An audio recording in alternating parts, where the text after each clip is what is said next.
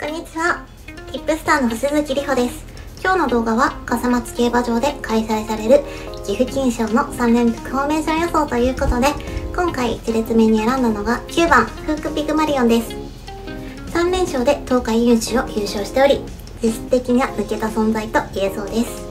またデビューから14戦で着外は4着が3回という安定した成績を残しており、このメンバーが相手なら馬券圏内は外さないと判断して1列目に選びました。続いて2列目、3列目に選んだのが、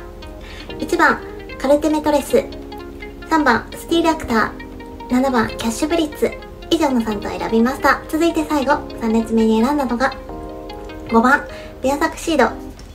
10番サウンドノバ、以上の2と追加した3連複フォーメーション9点で的中を狙っていきたいと思います。